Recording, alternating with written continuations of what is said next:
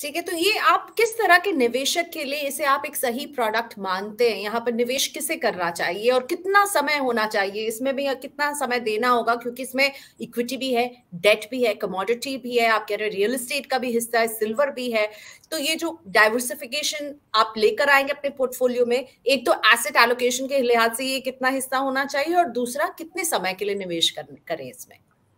जी तो अगर देखिए मल्टी एसेट फंड अगर आपको किसी को, किसको अपने पोर्टफोलियो में रखना चाहिए तो उसका सबसे सरल, आसान आंसर ये रहेगा कि जहाँ आप खुद से अपने पोर्टफोलियो में बहुत बड़ा डाइवर्सिफिकेशन नहीं क्रिएट कर पा रहे हैं या नहीं करना चाहते हैं बेसिकली तो ऐसे निवेशकों के लिए जहाँ पर ऑटोमेटिक अगर आपको एसेट क्लास डाइवर्सिफिकेशन चाहिए, एक होता है कि मैं खुद से मेहनत करूँ डिटरमिन करूँ कि मुझे इक्विटी में 50 परसेंट रहना है डेट में 20 परसेंट रहना है 20 परसेंट ऑल्टरनेट्स में रहना है, और दूसरा आप एक फंड मैनेजर को एक स्कीम में पैसा दे दीजिए जहाँ पर वो खुद से निर्णय करेगा कि किस एसेट क्लास में उसको कितना करना है, और मैंडेट ये है कि वो तीन एसेट क्लास मिनिमम लेके रहेगा आपके लिए। तो उस तरह के निवेशकों के लिए अच्छा है। दूसरा जो थोड़ा सा कंजर्वेटिव चाहते हैं एलोकेशन थोड़ा सा सेफ़ खेलना चाहते हैं बहुत अग्रेसिव नहीं चाहते अपने पोर्टफोलियो को बिकॉज़ इसमें कुछ मात्रा में डेट रहता है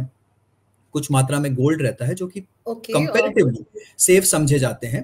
हम्म। उनको आप इंक्लूड कर लेते हैं तो कंजर्वेटिव इन्वेस्टर्स के लिए और कुछ हद तक रिटायर्ड इन्वेस्टर्स के लिए भी डिपेंडिंग ऑन उनका किस तरह का पैटर्न है इन्वेस्टमेंट का और क्या गोल्स हैं ये अच्छा एलोकेशन हो सकता है